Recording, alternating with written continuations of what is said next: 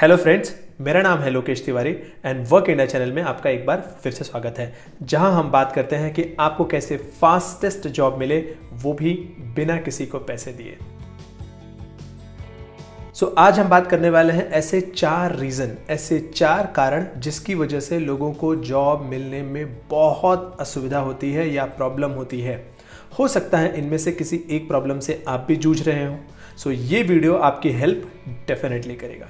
इन चारों रीज़न को डिस्कस करने से पहले मैं आपको ये बताना चाहूँगा कि जब मैंने 2011 में अपनी इंजीनियरिंग कंप्लीट की और मैं जॉब ढूँढने के लिए बाहर निकला, तब मुझे भी जॉब ढूँढने का वो पेन जो होता है ना, यार कैसे जॉब मिलेगी, कैसे करेंगे कौन सी जॉब होनी चाहिए, इतने सारे क्वेश्चंस और इतने सारे डाउट्स थे माइंड में।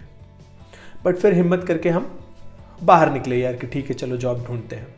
एक महीना निकल गया, दो महीना निकल गया, मैं ढूंढ रहा था, यार कोई तो जॉब लग जाए, कहीं से नौकरी पे कोई ईमेल आ जाए लिंकडिन पे, उसमें लिंकडिन इतना फ़ेमस नहीं था। तो मेनली तो नौकरी ही था टाइम्स जॉब्स ये सब चीज़ें थी कि कोई तो मेल आ जाए, हर जगह जाके यू नो अकाउंट बनाना रिज्यूमे बनाना, फिर थोड़े बहुत अप्लाई भी करना बट वेट करते रहना, कभी कोई तो मुझे अप्रोच करेगा। That was my first mistake कि मैं सिर्फ़ और सिर्फ़ वेट करता रहा।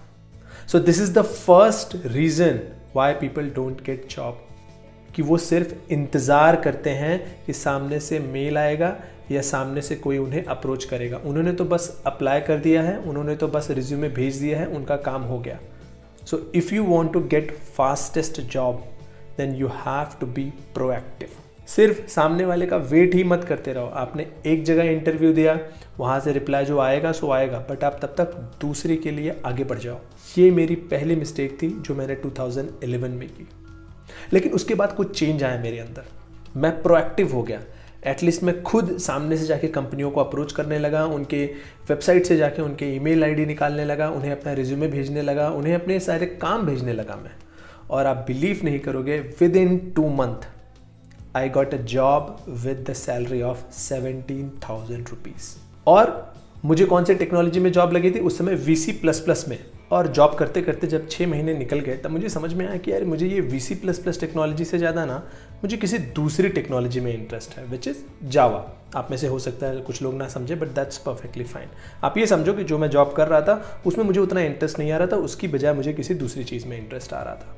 तब मैंने वो जॉब करते करते एक दूसरी जॉब ढूंढनी शुरू कर दी और मुझे जॉब मिल भी गई लेकिन मज़ेदार बात यह है कि वो सिर्फ़ इंटर्नशिप थी प्योर जॉब नहीं थी। और इंटर्नशिप का पैकेज क्या था आपको पता है? यू विल बी अमेज्ड वो पैकेज था सिर्फ़ चार हज़ार रुपये का। सिर्फ़ और सिर्फ़ चार हज़ार रुपये का। लेकिन उसके बावजूद मैंने अपनी पुरानी वो जॉब छोड़ दी और मैंने इस चार हज़ार की इंटर्नशिप वाली जॉब को ज्वाइन कर लिया। क्योंकि इसमें मेरा इंटरेस्ट था। ये चीज़ मैं करना चाहता था। सो so, यहाँ से हमें मिलता है दूसरा रीज़न कि क्यों लोगों को जॉब नहीं मिलती? क्योंकि वो परफेक्ट जॉब ढूंढते हैं। उन्हें सब कुछ परफेक्ट चाहिए perfect company perfect job perfect salary ऐसे नहीं होता है लाइफ ऐसे नहीं आगे बढ़ती। हमें सबसे पहले स्टार्ट करना होता है। एक बार हमने स्टार्ट किया, फिर उसके बाद हम उसमें इंप्रूवमेंट करते हुए आगे बढ़ते हैं। जैसे कि मैंने पहली जॉब हासिल कर ली, उसके बाद मैं आगे बढ़ने लगा और मैं ढूँढने लगा कि किसमें मैं बेहतर हूँ, क्या मैं सबसे अच्छे से कर सकता हूँ। और वहाँ से फिर मैंने स्विच करके दूसरी जॉब हासिल कर ली। भले उसमें कम सैलरी थी बट मैंने वो चीज़ ले ली। तो अगर मैं सिर्फ़ परफेक्ट जॉब का वेट करता तो आप सोचो ये जॉब मिलने में मुझे छः महीने और लग जाते। या फिर परफेक्ट सैलरी मैं ढूंढता तो मैं अपनी सत्रह हज़ार की जॉब छोड़ के क्यों ये चार हज़ार की इंटर्नशिप करता? You will be amaze to know कि 2013 तक आते आते अगले दो सालों में मेरी सैलरी लगभग फोर्टी थाउज़ेंड की रेंज में आ गई थी। विच इज़ गुड ग्रोथ चार हज़ार से चालीस हज़ार तक पहुँच गया यार, अच्छी बात है। सो so, अगर आप प्रोएक्टिवली एक्शन नहीं ले रहे हो अगर आप परफेक्ट सब कुछ ढूंढ रहे हो तो आपको जॉब मिलना बहुत मुश्किल है बहुत मुश्किल है। आपको पता है मैं इतना तेज ग्रो क्यों कर रहा था? फोर थाउज़ेंड से फोर्टी थाउज़ेंड में क्यों पहुँच गया?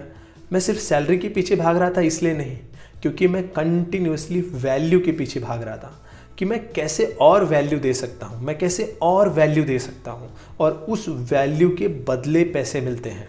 टाइम के बदले सिर्फ़ ऑफ़िस में टाइम स्पेंड करने का पैसा नहीं मिलता। आप कितना वैल्यू दे रहे हो, उसके बदले पैसा मिलता है। And this is the third reason why people don't get job क्योंकि वो वैल्यू नहीं दिखा पाते सामने वाले को कि मैं किस तरह की वैल्यू लेकर के आ रहा हूँ आपकी कंपनी के लिए। वो सिर्फ़ ये बात करते हैं कि जॉब चाहिए, मुझे बहुत ज़रूरत है, सर जॉब दे दो। ऐसे नहीं जॉब मिलती। आपको वैल्यू दिखानी पड़ेगी कि आप क्या वैल्यू लेकर के आ रहे हो कंपनी में। अगर आप अपनी मजबूरी बताओगे, अगर आप अपनी प्रॉब्लम बताओगे तो उससे सिर्फ़ इमोशनल अटैचमेंट बनता है बट जॉब मिलने की संभावना आपकी घट जाती है।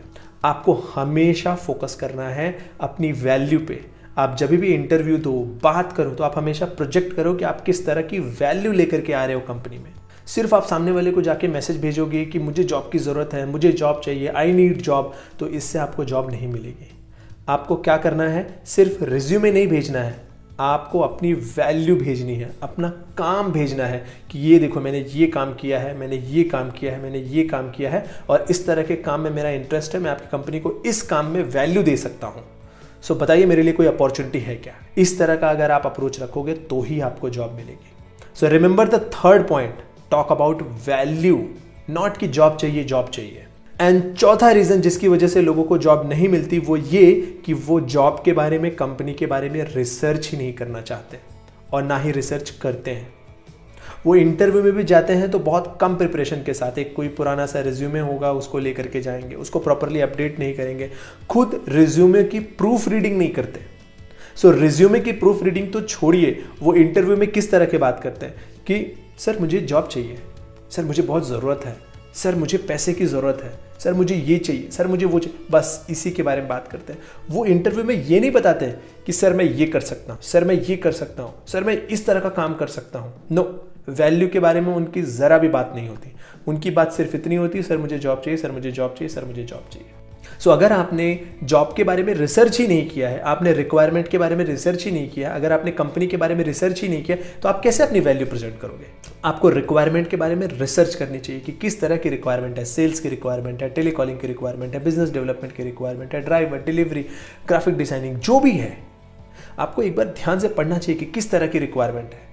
और अगर आपको नहीं समझ में आ रहा है जॉब डिस्क्रिप्शन पढ़ के तो एटलीस्ट तो आपको सही क्वेश्चन पूछना चाहिए सामने वाले से कि इस जॉब में किस तरह की स्किल रिक्वायर्ड है, किस तरह का एफर्ट रिक्वायर्ड है और उसके बेस पे आप सामने वाले को प्रेजेंट कर सकते हो कि आप उस रिक्वायरमेंट की कितनी वैल्यू प्रेजेंट कर रहे हो। So these are the four main reason why people don't get job number one वो लोग प्रोएक्टिव नहीं काम करते नंबर टू वो परफेक्ट सब कुछ ढूँढने का प्रयास करते हैं। परफेक्ट जैसा कुछ होता नहीं है।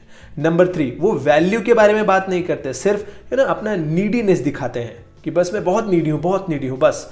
And number four they don't research about requirement and about company और इन्हीं चार रीजन को फॉलो करने वाले लोग अक्सर स्ट्रगल करते हैं जॉब पाने में। मुझे उम्मीद है कि इस तरह के वीडियो आपको हेल्प करते हैं ग्रो करने में।